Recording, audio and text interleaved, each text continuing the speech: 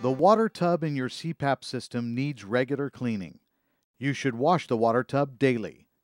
If you have a tub with a removable lid, you can remove the lid by releasing the four brackets on each side of the tub. Then you can hand wash the tub in warm, soapy water. Be sure to rinse out the tub thoroughly and let it dry before putting it back together. If you have a tub with a non removable lid, just fill the tub with warm soapy water and swish the water around inside the tub.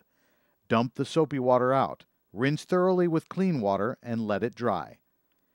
While the water tub is still outside your CPAP device, fill it with tepid distilled water.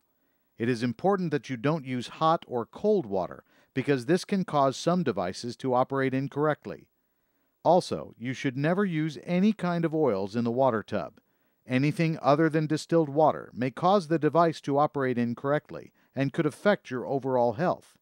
Finally, don't allow the water level to go above the fill line because water might enter the tubing, the mask, or the device itself, causing water damage.